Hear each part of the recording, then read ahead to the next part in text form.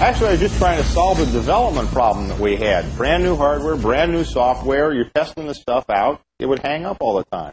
So the only solution you have is turn the power off, wait a few seconds, turn the power back on, and you know, wait for it to go through the power on self test. I said, I'm writing all this code for the keyboard. I can, you know, let's just shortcut it. And originally intended for it to be what we would now call an Easter egg, just something that we were using in development. It wouldn't be available elsewhere.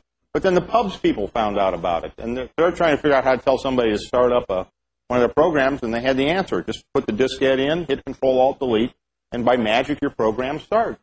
So it was like a five minute job in doing it. I didn't realize that I was going to create a cultural icon when I did it.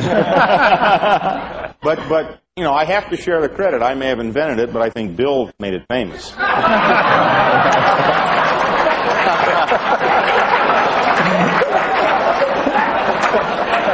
when you used it for NT logon. That's what I meant.